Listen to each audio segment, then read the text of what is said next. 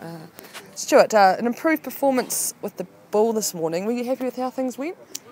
Yeah, look, I think it was today's results probably indicative of the uh, the other two games. Um, we thought we were way off the mark, but you know we, we fought back today to, to you know, gain some respect and put some pride back into our performance. Um, and look, I think you know winning the toss and you know bowling first was a was a major major asset for you know the first couple of games. Um, but we had to come out and bowl well, and we did. You know, we, we got wickets with the new ball. Harry Conway bowled you know, very well up front. Joel Paris got a couple of wickets again.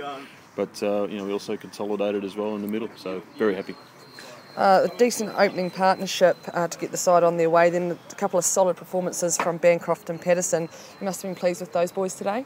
Yeah, look, I think what the first two losses did to us, um, it, it, made us sit up and work out a, a, plan against this sort of attack. And I think most most teams are going to have this sort of attack. A couple of spinners um, that of decent quality, and you know a couple of seamers. So our boys went about. Um, rectifying what they did. Uh, you know, Bancroft played played very well. You know, got through the new ball uh, with with Meyrick Buchanan. Um, they batted really well together, and then Kevin uh, Kurtis Patterson came in at the bottom and, and, really really saw us home. And you know, he's probably uh, he's probably the class act of the, the batting lineup, and he's he's proven it um, you know time and time again. So that's that's all good signs. They uh, they did well.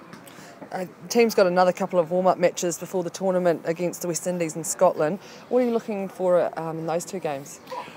Well, still, we're trying to give everyone as much game time as possible to, to be in a, a really good frame of mind, you know, cricket wise, uh, going into their first game against England.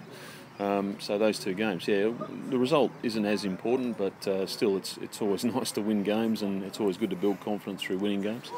Um, so look, we're, we're probably just conscious of giving guys game time, um, but we still want positive results coming out of the uh, the day's play. Cool, thanks.